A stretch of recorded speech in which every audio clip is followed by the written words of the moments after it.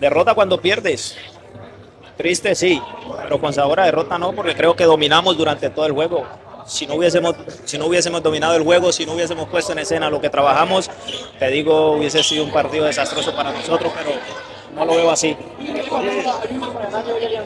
¿Cómo? Mantener el resultado.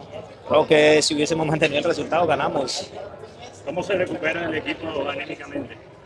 A ver, hay que darle la vuelta, hay que darle la vuelta al partido de hoy, meter cabeza en lo que va a ser el partido de Libertadores, darnos cuenta de, que hemos hecho cosas bien, de que hay otras por- que tenemos que mejorar y bueno, vamos a, tener una semana larga para preparar lo que va a ser el partido de, Libertadores. Hay que corregir, hay que trabajar, hay que priorizar en eso y bueno, seguro nos vamos a ocupar mucho de eso y vamos a estar mucho más fuertes en ese tema. A ver, Junior tiene hincha, tiene hincha en todo, en todo el país eh, y que siempre nos están apoyando. Agradecerles siempre por ese apoyo, decirles que este es su equipo, que lo sigan alentando, que lo sigan apoyando. Vamos a ir a representar no solo a la hinchada de Junior, sino a todo Colombia en la Libertadores y de seguro que vamos a ir con la mentalidad, el deseo, las ganas de, de poder sacar tres puntos allá en Chile. Contento por el gol, pero lastimosamente no encontramos el objetivo que era la victoria, darle una alegría a toda esa gente que vino hoy a celebrar estos 100 años. Pero bueno, nos quedamos con todo lo bueno que hizo el equipo, lo intentamos por arriba, por abajo. Pero bueno, así es el fútbol, nos quedamos con él sin sabor, pero también me quedo con, con lo que mostró el equipo, la, la gallardía que tuvo para jugar. Jugadas son circunstancias del juego, son milésimas de segundo que muchas veces no tenemos la capacidad de reaccionar, son jugadas de un instante, entonces, bueno, así como la metimos nosotros, nos la metieron a nosotros. Pero bueno, ya pasó, ya va a pasar esta página, enfocarnos esta semana en trabajar bien, de corregir los errores que tuvimos y que salga todo lo bueno en Libertadores. Va a ser un privilegio marcar con esta camisa, el sentido de pertenencia que tengo es alto con esta institución.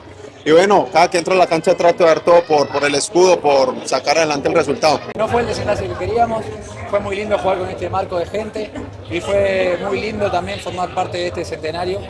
Y bueno, recién empieza este semestre y confiamos de que lo que hemos vivido en estos últimos partidos nos va a preparar para todo lo lindo que se viene. Hay que seguir analizando el partido en frío, obviamente que ahora en caliente es difícil hacer un análisis, pero creo que hicimos cosas muy buenas en la parte ofensiva, en el dominio del juego y seguimos con...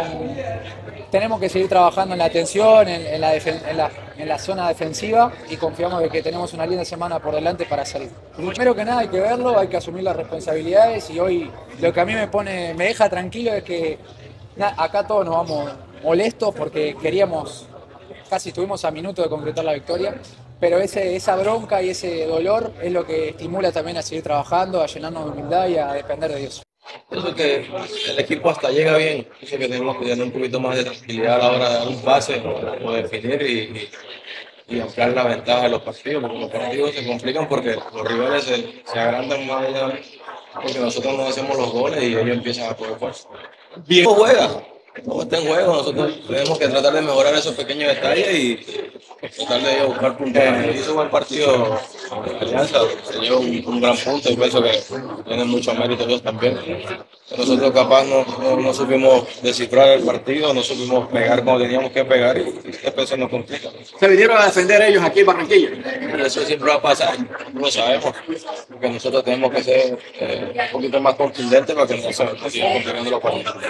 Agradecerles por, por el bonito escenario que, que nos brindaron hoy. Ojalá y el metro siempre viva de esta manera. Por ahí un poquito triste porque no pudimos regalarle los tres puntos que se nos escapan al final. Pero como dije ahora, tenemos que seguir trabajando, corrigiendo y tratar de, de conseguir ahora tres puntos en los partidos que vienen.